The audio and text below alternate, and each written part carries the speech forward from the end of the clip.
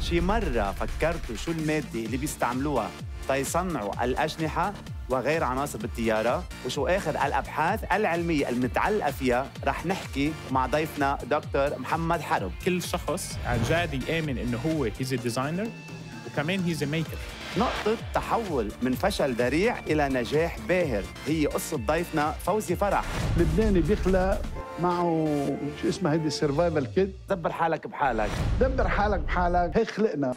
أما موهبة الليلة بتدور بفلك الرقص لكنها نابعة من مجرة هندسة الميكانيك. ماشي بشوف الرقصة geometry إذا بدها space geometry شو الشيء الموجود بحياتك بيمنحك صلابة بقوة ال carbon fiber؟ إيماني. من رصيدكم 30 دولار.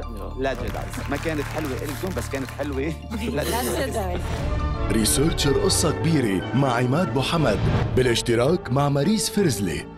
تلاتة تسعة ونص المساء على LBCI